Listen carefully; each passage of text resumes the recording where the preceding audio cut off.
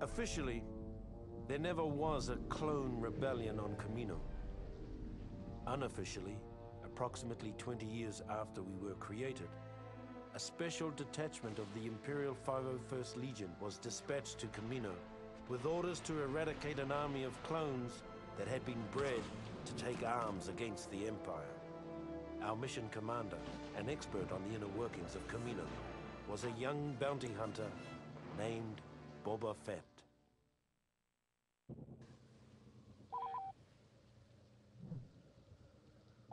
Boba Fett on the job.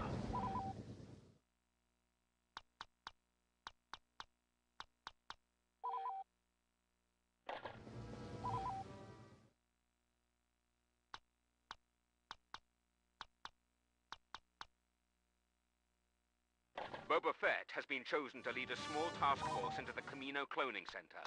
His familiarity with the center's layout and access codes should give us the element of surprise.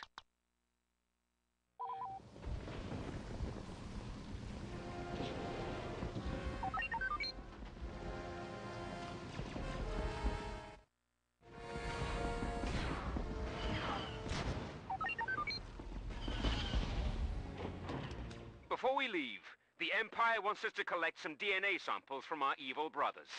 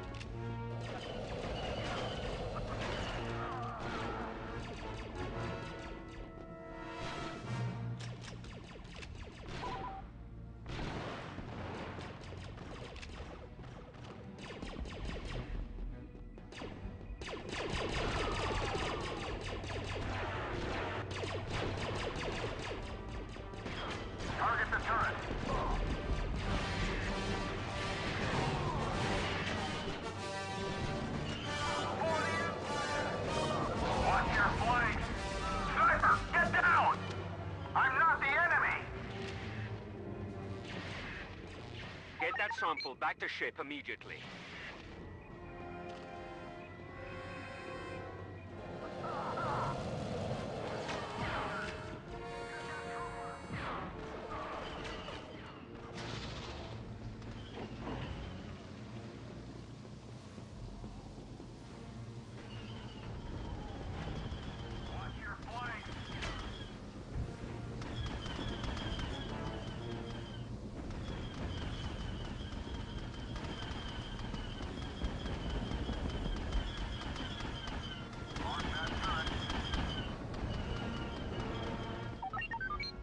Sample secure.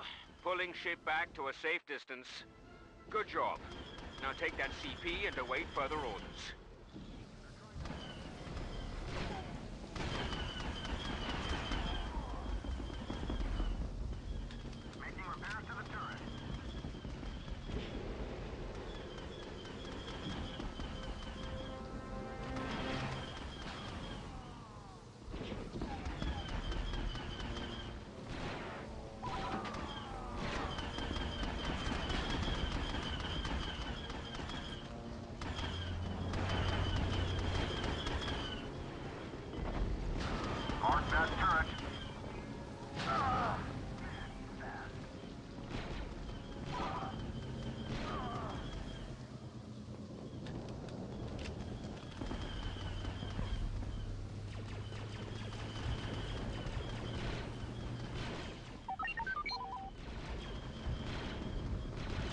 Know your objectives.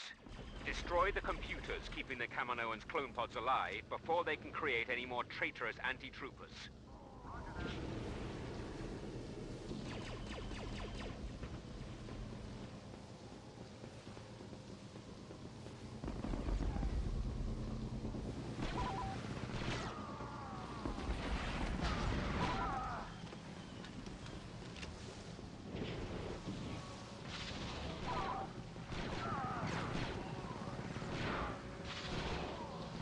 Is that all you've got?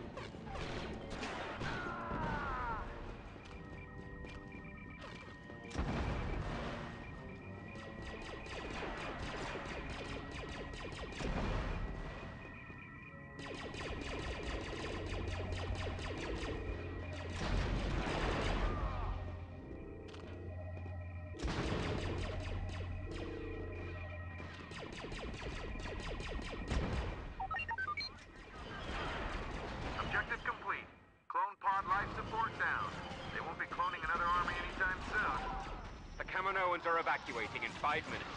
Take down their transports before they can escape.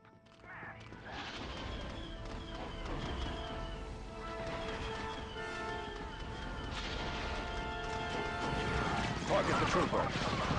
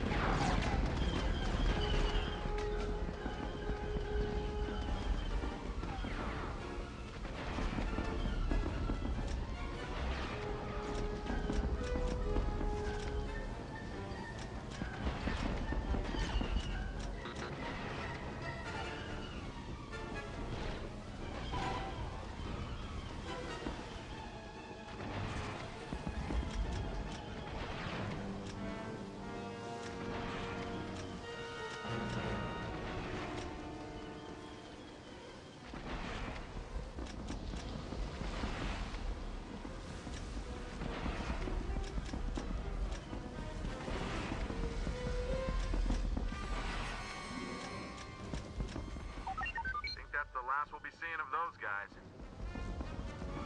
I sure hope so.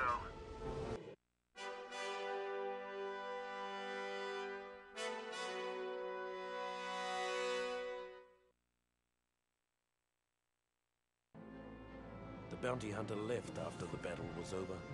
He said something about tracking down a smuggler on Tatooine.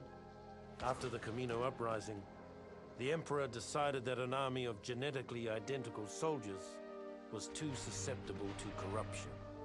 Future troopers would be cloned from a variety of templates. Though the 501st itself remained pure, the rest of the Imperial Army gradually became more and more diverse. We never really got used to the new guys.